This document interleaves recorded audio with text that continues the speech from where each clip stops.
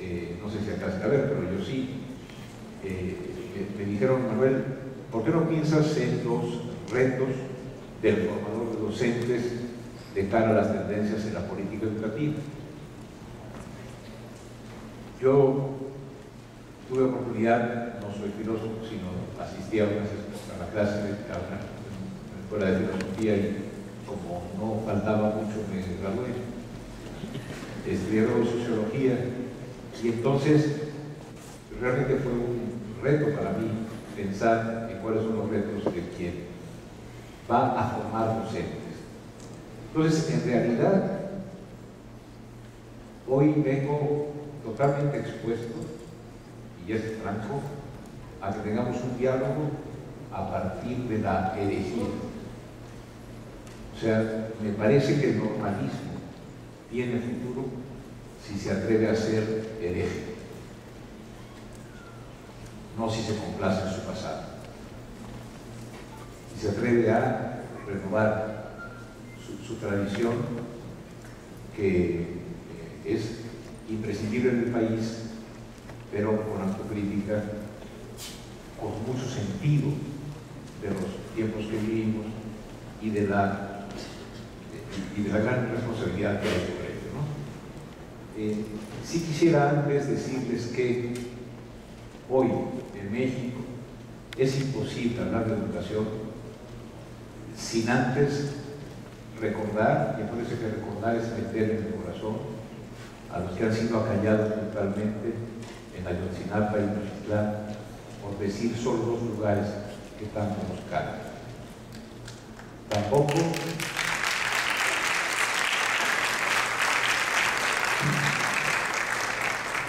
creo que tampoco es posible hablar de educación, sino también meter en el corazón y en lo que los secretarios llaman la zona del no olvido, que el silencio de la muerte es el límite radical del silencio que se ha impuesto a tantos y a tantos millones ante el sometimiento que el poder llama reforma. Hay algo muy trágico lo que ha sucedido en varios lados y ahora que se identifica en Oaxaca. La forma de silenciar a alguien más radical es quitarle la vida. Pero antes, la reforma se fundó en quitarle el habla al magisterio. Y parte desde la afrenta de haberlo considerado, incapaz de hablar. Estamos ante el límite de esta reforma y creo que por eso es correcto decir que esta reforma deforma porque anula las palabras de los que saben hablar. Yo pienso que esta reforma y sus eh, promotores dialogan, valga la palabra decirlo, con el espejo de su ignorancia arrogante. Y creo yo que hoy no se puede hablar de educación en México sin reivindicar el valor de la rebeldía que revela la dignidad del derecho a la palabra. Por eso creo que hablar en este encuentro y hablar, como mi profesor Alberto Arnau me ha enseñado, es vital.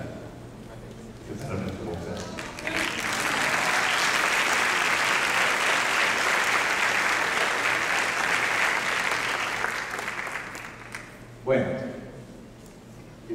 la, cuestión es, voy a hacer algunos planteamientos acerca de qué retos enfrenta el formador de, de docentes. Y para eso he organizado la presentación en que creo que tenemos, ojalá podamos discutir, delimitar, si, si se quiere, más que definir quién es un docente, si de esa delimitación eh, podemos tomar dos cosas, yo voy a proponer una que es la distinción en el conocimiento del contenido y el oficio pedagógico del contenido a enseñar, si entendemos los vínculos y diferencias que hay entre el conocimiento y el oficio pedagógico que con ese conocimiento se realiza, creo que sería una cuestión interesante. Y luego, utilizando una analogía con, con la posición ptolomeica y luego con la posición de Kepler y Copérnico, tratar de ver qué significa aprender. Porque me da la impresión que no hay manera de pensar los retos del formador de docentes sin, eh, digamos, revisar qué significa aprender y cuál es el papel de quien forma al docente. Entonces, aquí me quisiera eh, recargar en una enseñanza de un colega, Anthony Garrins, profesor de química de algunos años en la UNAM, que siempre me insistía en lo que voy a decir. Eh, una profesora, un docente, no es, para poderlo definir bien, un conocedor de todo un campo del conocimiento.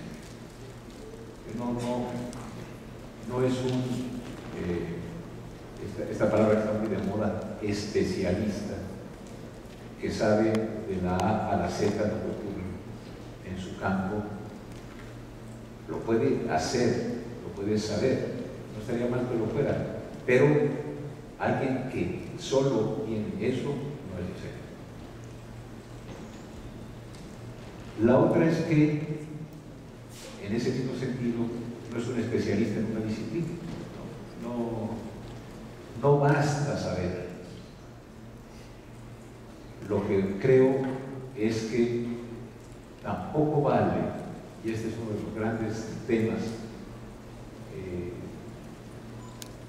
pensar que, el docente es alguien que fracasa en la vida profesional siguiendo esa pavorosa expresión de Bernard Shaw que dijo que el que sabe hace y que el que no sabe enseña.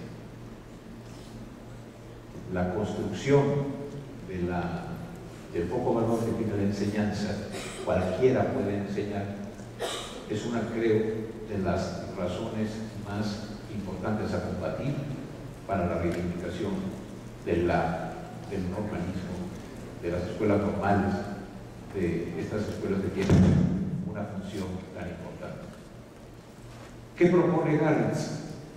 Garrins dice que un docente ha de saber sin duda, es decir, tiene que ser conocedor del campo del conocimiento que, que, que trabaja, pero no, no es el que sabe todo el contenido de su campo, sino aquel que, y esto es muy importante, sino aquel que tiene o que se ha formado en una profesión específica. Y lo que hace al docente no es solamente el conocimiento, sino que es aquel, y esto es lo central, que tiene o aspira a tener se afana en lograr el dominio pedagógico del contenido del conocimiento a enseñar. Por eso, cuando corrían los años de 1986, que sí existieron a pesar de que ustedes consideren que es prehistoria, la mayoría de ustedes, eh, yo terminaba mi tesis de, de maestría en la Facultad de Ciencias Sociales, tuve el gusto de, que fuese mi director Alberto. Y ya que terminé, me dijo, Manuel, en una de esas, tú trabajas al personal académico y fíjate cómo los profesionales de la docencia no son los profesores de la universidad. Los profesionales de la docencia son los profesores de la escuela básica. Porque ¿qué se necesita para ser profesor universitario? Les platico mi experiencia. Yo llegué, había necesidad de profesor, estudié filosofía para la, en la carrera de diseño industrial, quién sabe para qué, aquello de expansión. Me inscribí al concurso de oposición, fui el único candidato, me esforcé mucho y gané. Gracias por el porque sí fue difícil. A la semana siguiente había que dar clase y tenía que haber alguien que hiciera las veces de profesor. De hecho, cuando llegué, eh, entusiasmado, porque mi papá me dijo cuando le dije, oye, papi, que ya soy profesor de la universidad, uy, se le llenaron los pillos de lágrimas, imagínense cuatro años de primaria, había jugado fútbol nada más. Entonces me dijo, Manolo, qué orgulloso estoy, nada más procura de un trajecito.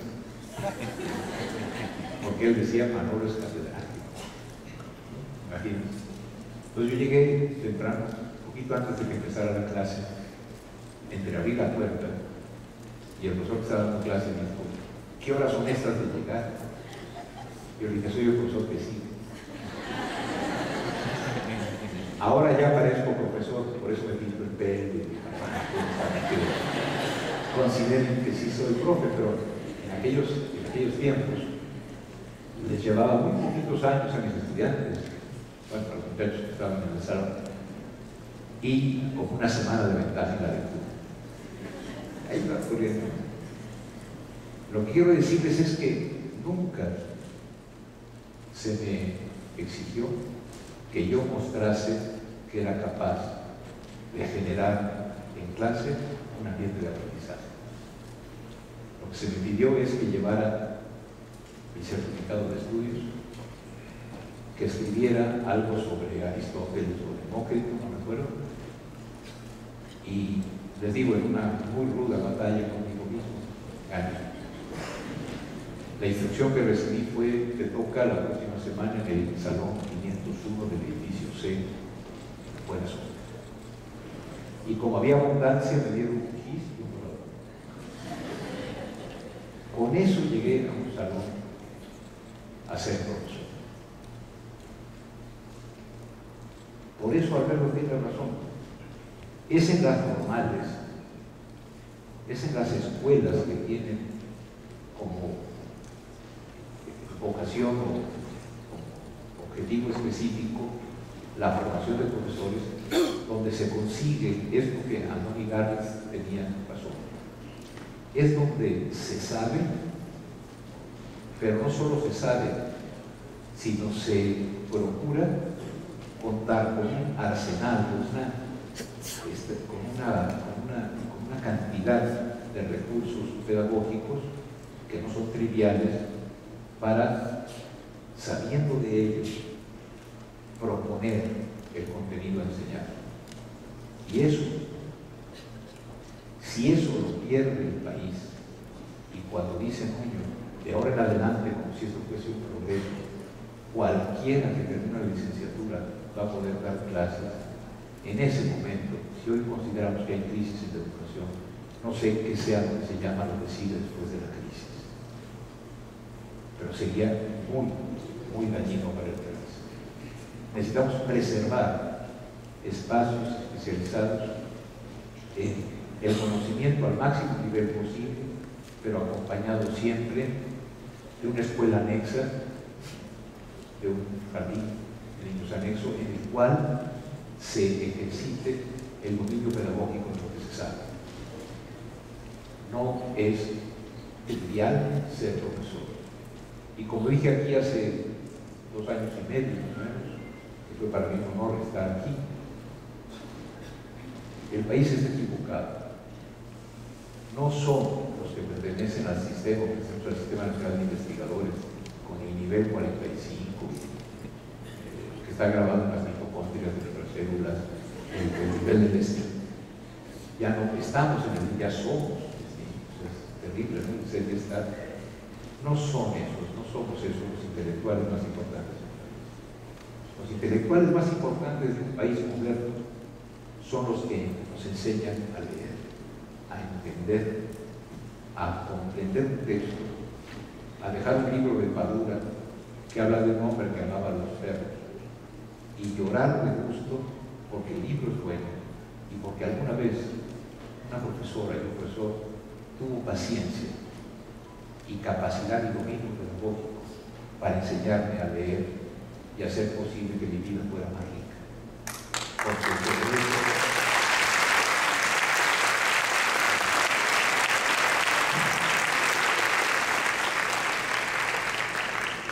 Sobre eso se levanta todo el saber futuro de un país. Una de las grandes líneas de pelea contra una reforma unilateral y autoritaria y arrogante es la reivindicación de que los profesores y las profesoras, los maestros y las maestras de México son los intelectuales sin los cuales no hay conocimiento social. Ese es algo que es muy importante, porque de veras, permítanme, si no hay capacidad de generar las posibilidades de leer, entender, comprender, preguntar, relacionar lógicamente, si no hay eso, todos los demás niveles educativos fracasarían. El magisterio nacional construye conocimientos de la inteligencia médica. Por eso no puede ser un objeto de reforma, tiene que ser un sujeto reformador. Y eso se le olvidó a la altanería de este gobierno.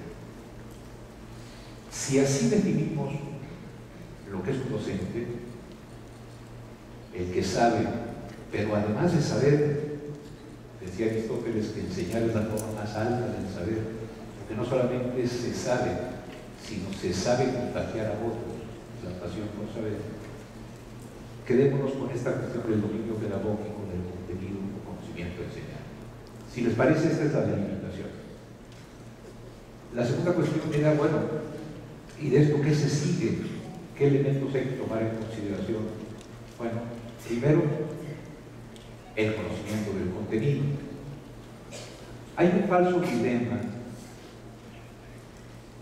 o una cosa que a mí me preocupa al menos, y es que se está haciendo una polarización. En las universidades se enseña muy bien el conocimiento, pero no lo pedagógico. Y en las normales se enseña muy bien lo pedagógico, pero nada del conocimiento. No sé si lo hayan escuchado, por lo menos en mi barrio, eh, intelectuales se dice. Y yo creo que hay que romper con ello. Necesitamos tener los que somos profesores conocimiento del contenido, ¿cierto? Pero eh, hay que reconocer que puede ser muy variado para el caso de nuestros colegas de preescolar y de, primaria, o puede ser muy específico para nuestros colegas de la secundaria o de la media superior cuando está siendo obligatoria, hay que, hay que conocer. Yo no encuentro nada más difícil que ser profesora o profesor de escuela. ¿Qué hago? No, respeto lo es, es, es, importante.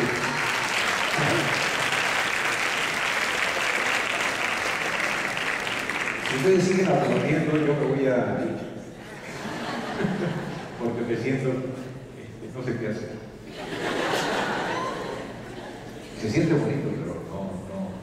A ver, eh, lo, único que quiero pedirles es que no hay en esto un ápice de adulación. Es franco. El saber qué hacer en un aula pequeñita de preescolar, el ir desarrollando en los niños y las niñas la, el hambre, la sed de conocer, luego en la primaria, etcétera, esas cuestiones. Como me decía un profesor de Mexicali, mire, profe, si después de dar mi clase nadie sacó un ojo, me doy por bien servido.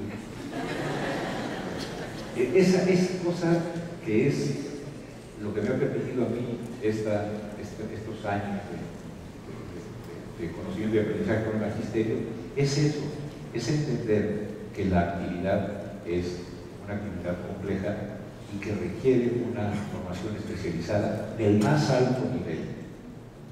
No es menos importante el controlador de vuelos, el cardiólogo, que el profesor y profesora de. No hay una diferencia en términos de la complejidad ¿Por qué? Porque están construyendo lo que hace posible el pensamiento que al conjuntarse genera pensamiento social posibilidad de cambio.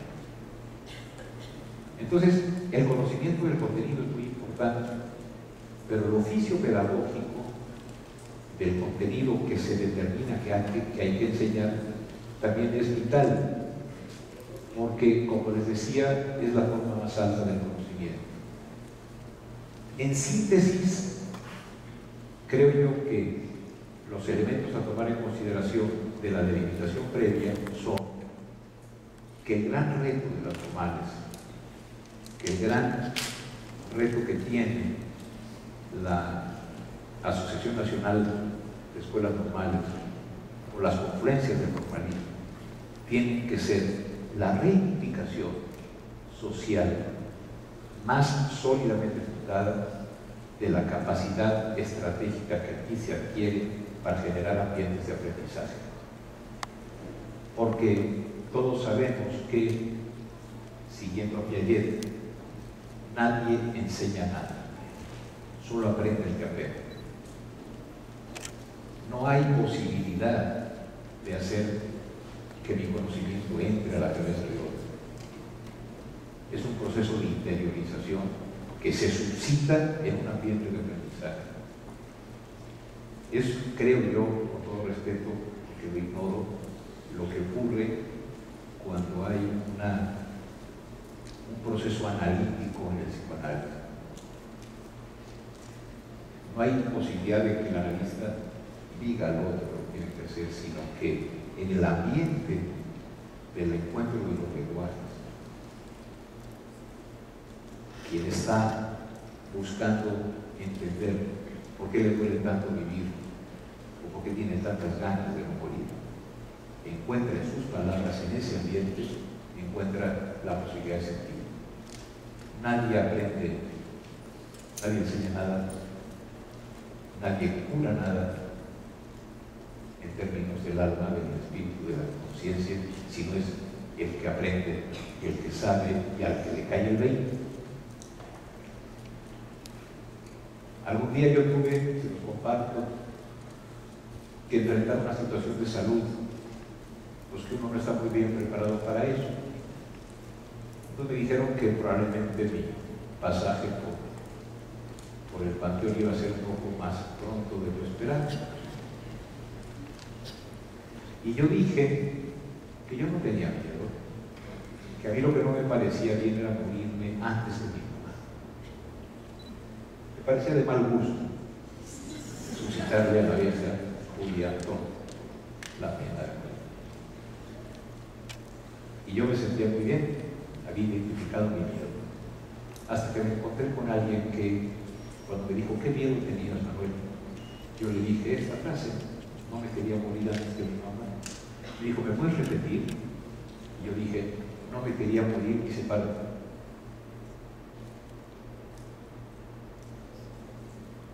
Tu mamá se encarga de su pueblo.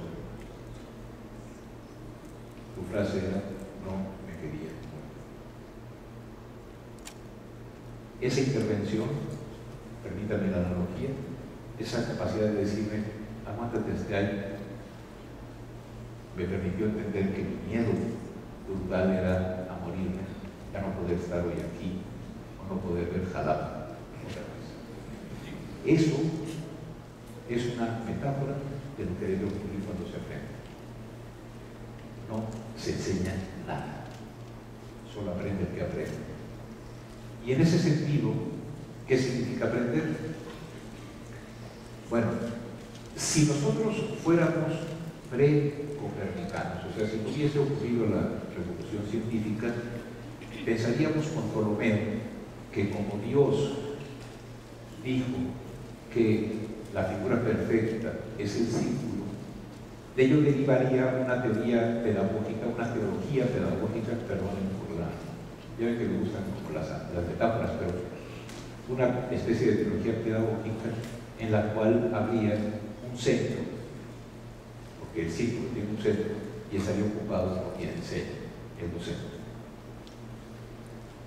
En la figura del círculo, el centro lo ocupa el profe, la profesora. Y es el que enseña. Bueno, eso sabemos nosotros que si lo anterior es cierto, que nadie enseña nada, solo aprende el que aprende eso no es posible. Pero también sabemos con Freire que eso nos conduce inevitablemente a una lógica de educación bancaria, así le llamaban, ¿no? ustedes son expertos en eso. O sea, llenamos cubetas de saber y eh, o llenamos o repartimos latas de azul. En este caso hay que llenar cubetas de bolitas y latas de bolitas para ponerlas acertadamente en los exámenes. Y esa es la función que desde el centro se haría. Enseñamos a resolver. Pero siempre me ha encarnecido la historia de Kepler, que con base en sus propias observaciones y las de Tycho Brahe, pasaban los años y los años, hacían sus cálculos y todo, y no les resultaba circular las órbitas del planeta. Y decían, me equivoqué, porque la figura correcta es Dios no, hizo las cosas mal, estoy. Pues resulta que no sé si Dios hizo bien o mal, eso es asunto de los, humanos y de la vida privada de cada quien, pero Kepler y Copérnico saben que es la elipse, la figura, que es imperfecta de la realidad cognitiva desde el punto de vista de que hay una perfección circular, pero que tiene la maravilla, maravilla cognitiva de que tiene no un centro, sino dos focos de relación. Eso es una metáfora ya de una, de una tecnología pedagógica, sino de una geometría maravillosa. ¿Por qué? Porque no hay ningún papel importante en el mundo social, no hay ningún rol del profesor y profesora de Suma que no sea siempre la relación. No se puede ser profesor sin estudiante, no se puede ser eh, amante sin amada o amada sin amante, o no se puede ser padre sin hijo, no se puede ser amigo sin amigo, compañero de fracasos, Dios sumador de los fracasos. ¿Sí me explico? La maravilla del elipse como figura pedagógica es que pone a los pocos en relación y en consecuencia lo que tenemos un docente que propone y un aprendiz que trabaja. Si tuviese la reforma educativa, o bien si logramos como proyecto ante la sociedad de la, de la normal renovada reconociendo su pasado y lanzada hacia el futuro, me parece que tendría que pensar en que aprender significa la relación siempre entre un docente que propone y un aprendiz que trabaja.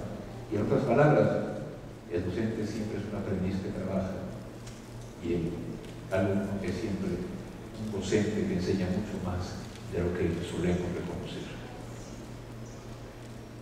Entonces, eh, quisiera tocar, aunque parece que no tienen nada que ver, dos conceptos fundamentales que últimamente han tomado mi, reflexión y también mi, corazón, porque son fuertes. ¿no? Hace poco me enteré, creo que era el 9 de marzo, que etimológicamente por infancia se debe entender o significa quien no sabe hablar. Infans, ¿no? El que no sabe hablar. El que no tiene voz. Por eso requiere tutor. Por eso por él habla el Padre. Firma del Padre del tutor, decía la boleta de calificaciones que nunca entregué a mi papá, que siempre falsifiqué. Si infancia significa que no sabe hablar, como eh, yo les dejo esta presentación y hay una cita muy interesante de, la doctora Laura Kapchansky en la que trabaja eh, los niños y la literatura infantil y que ahí fue en una conferencia de este libro en que pensé qué importante es para la crítica de la reforma y para la renovación del pacto pedagógico de las normales repensar lo que. De veras, la infancia es la condición en la que no se sabe hablar. Y por otra, alumno. Con la bronca que en el caso del alumno hay una etimología correcta. Muchos dicen que alumno es el que no tiene luz. Porque incorrectamente ponen alumno como el alfa privativa griega y luego lumen como luz en latín. No. Alumno no significa sin luz, aunque sí tiene que ver con el que requiere ser alimentado. Entonces, si estos dos conceptos que son de veras para pensar, para pensar y dejarse interpelar por ellos, porque somos profesores, porque somos padres, porque somos ciudadanos, de verdad la relación pedagógica tiene sentido cuando se relaciona alguien que tiene voz y está nutrido con un ser sin voz al que hay que alimentar. Ese es un proyecto pedagógico o es un proyecto de control. Es, como diría Freud, quizá la razón por la cual somos otro lado del planeta concibiendo al otro sin voz y a nosotros como seres muy nutridos por el conocimiento que tenemos que alimentar a ese planeta. Voz y alimento. En materia de formación docente, la pregunta que me hago es, ¿y si en vez de considerar a la infancia quien no tiene palabra, la consideramos desde la crítica, que siempre hay voz, que siempre hay palabra y saber, que luego esa se convierte en letra y palabra que se escribe y se hila en cadenas de sentido. O sea, si modificamos la noción de infancia, porque esa fue una definición que le arrebató la voz, y si en vez de que el alumno sea al que hay que nutrir, se le reconoce como alguien que sabe sembrar y también que es capaz de alimentar al otro en la relación del ENIPSE. Entonces, me parece a mí que si no reflexionamos críticamente y a fondo estas dos nociones, eh, seguiremos en una relación unidireccional en la que podrá ver todo menos el prodigio de aprender.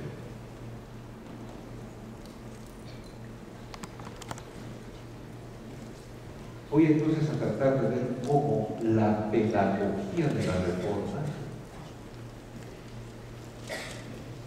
consideró eh, equivocadamente muchas cosas. Aprendamos de ella.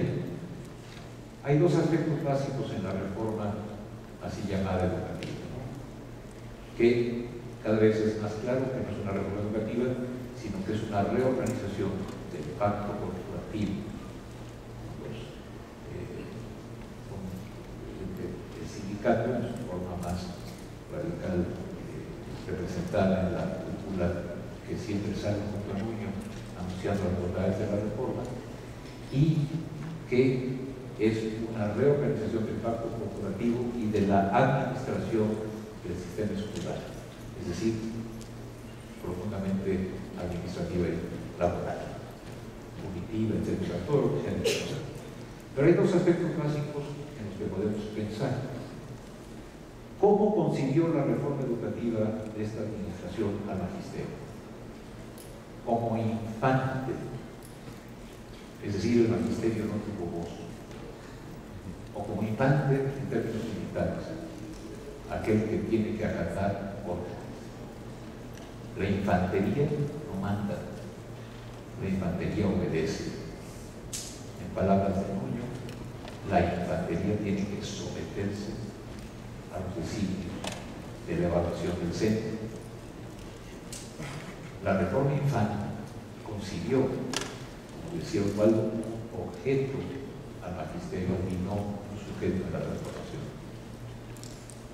Y por otro lado, como el magisterio no tiene luz en la doble equivocación etimológica, porque es un alumno de la sed, dice más que barbaridad, es un alumno rebelde de la sed, al que hay que verificar para quitar las orejas del mundo que se le establecieron a todos sin distinción alguna. Además, orejas de burro, rebeldía, fealdad, clasismo, etc. Y la reforma consideró que esos burros debían de ser alimentados por los que saben. Y entonces se hace una forma análoga al, equívoco fundamental de la pedagogía y de la educación. Hay una unidireccionalidad que pasa por enmudecer al otro. Y por ello, ya metiéndome al tema y acercándome a lo que quiero terminar para que podamos discutirlo, yo diría que un buen proyecto a pensar para las normales es que tenemos a un formador de docentes, que es el profesor y profesora de las normales, y luego ese docente va a ser luego el formador o el que va a ser profesor en la escuela. Si nos orientamos a pensar que el formador de docentes está frente a puros hambrientos, sino que los estudiantes y las muchachas estudiantes de las normales son personas que tienen voz y capacidad de nutrir, ser y nutrirnos. Si tampoco el docente en formación se está preparando, si, no, si las normales no preparan a los futuros docentes para atender a puros famélicos, a infantes alumnos, sino a personas con voz y capacidad de co-nutrir el aprendizaje. Entonces, creo, necesitamos un proyecto educativo, esa cosa que tanto le hace falta a la reforma y que yo creo que nos hace falta en la pelea por el normalismo, necesitamos construir un proyecto educativo que cultive precisamente la relación entre esos dos hablantes que saben nutrirse y compartir. Como proyecto filosófico de fondo, educativo de fondo, de la normal mexicana que recupere el papel crucial que tuvo la de este país. Y el papel crucial que tiene que cumplir en la construcción del país viable y digno, en el que no tengamos tanta tolerancia a la desigualdad, por ejemplo, me parece que tiene que ir respetando, que es la elipse, es la relación, y es la relación entre dos hablantes en distinta posibilidad de conocimiento, pero no uno cero de conocimiento el otro en 100, en distinta capacidad de inscripción, pero que ese proyecto educativo creo que puede ser el que genere entonces profesionales en lo que hablábamos del dominio pedagógico del contenido enseñado. Porque es enseñar aprendiendo, es decir, generar la relación de hablantes que nutren en y desde la relación.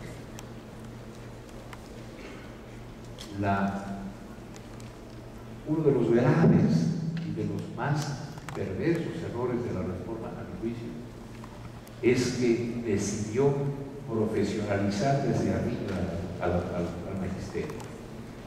Y si hay algo contradictorio a un proceso de profesionalización, es que se le profesionalice al que va a ser profesional. Porque la definición de profesional es el que entre ellos pares decide cuáles son las reglas y normas del oficio. Creo que hace dos años les platicaba que estando en Chiapas, en una reunión de, de un compañero de trabajo me dijo, Manuel, te voy a hacer tu autocrítica. Y yo dije, no. Mi autocrítica es Tú me puedes hacer una crítica, pero la autocrítica es del auto, de uno. Del mismo modo, la profesionalización del magisterio es un asunto el magisterio. No puede ser un asunto que desde el poder se conceda. Por eso la ley del servicio profesional docente no puede ser una ley o un marco legal que genere el crecimiento profesional del magisterio. Tiene que ser lo que es un sistema de control que pasa por la organización del trabajo para tener al magisterio siempre condiciones de amenaza, dado que la amenaza a juicio de ellos produce calidad. Es decir, la profesionalización en la, en docencia que se debe aprender, lo que se puede generar en los normales, creo que pasa por el respeto a que el dominio pedagógico del contenido enseñado es, descansa en que el, el enseñanza es una relación.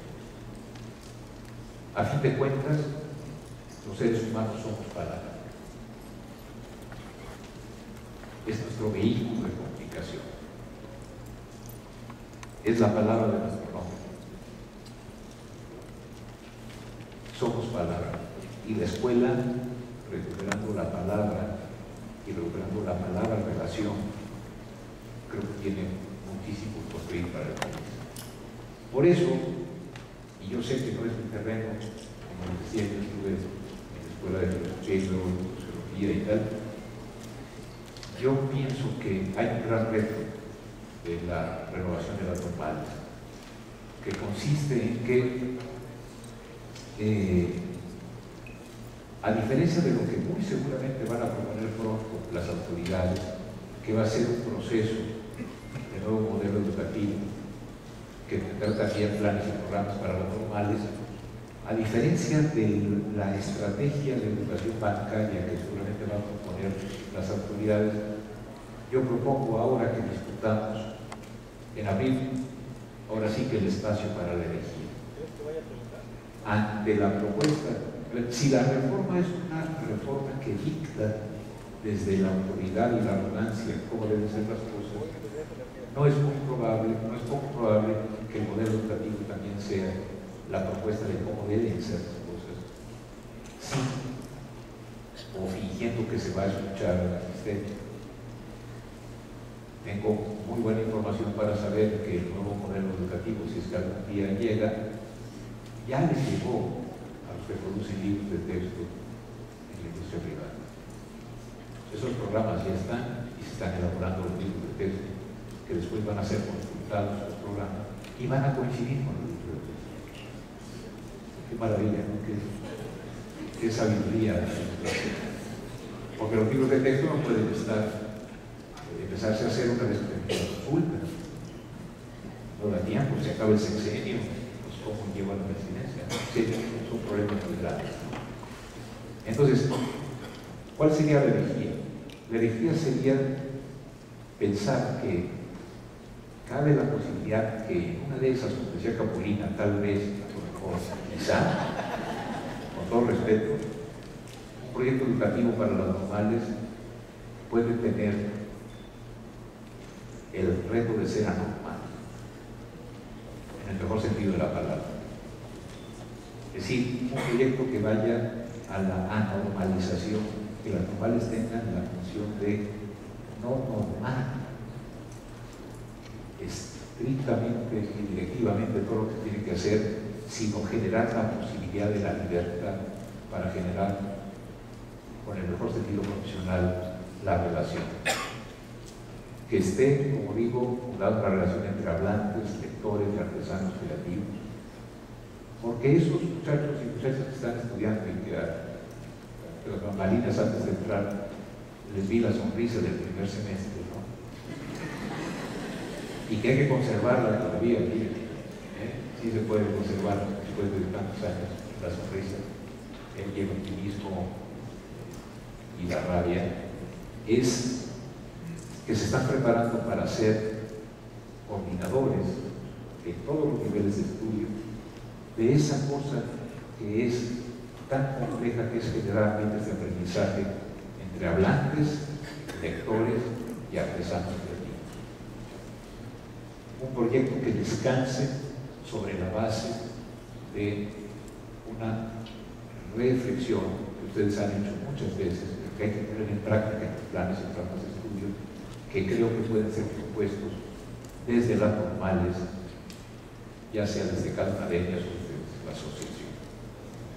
Por lo tanto, pregunto,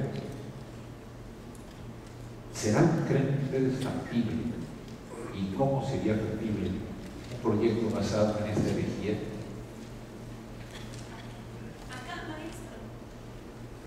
No veo. Ah, no, espérame, van más preguntas.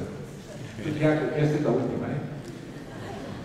¿Cuáles serían, le pregunto maestro, maestros a todos, cuáles serían los elementos, contenidos, estudio, cómo, cómo se llamarían a cabo la práctica, la evaluación?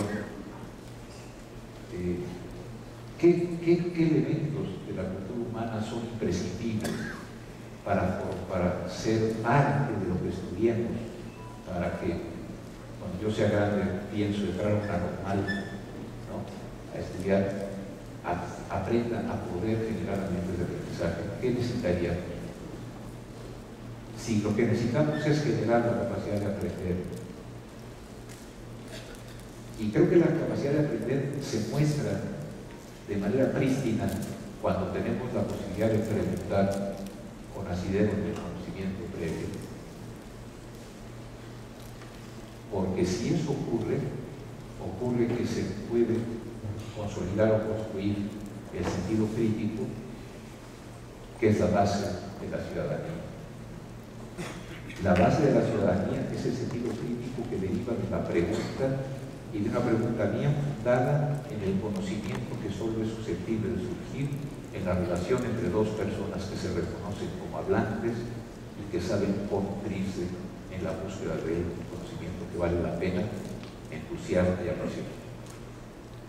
Ese proyecto para preservar la participación en el reto de la reforma que México necesita, creo que implica, sí, pensar en la especificidad de las escuelas normales como instituciones de educación superior y no ser subsumidas en ser IES a secas tenemos que conservar en el panorama de las instituciones de educación superior en México estas escuelas normales que tienen como objetivo central sí el conocimiento, pero sobre todo el dominio pedagógico del contenido a proponer.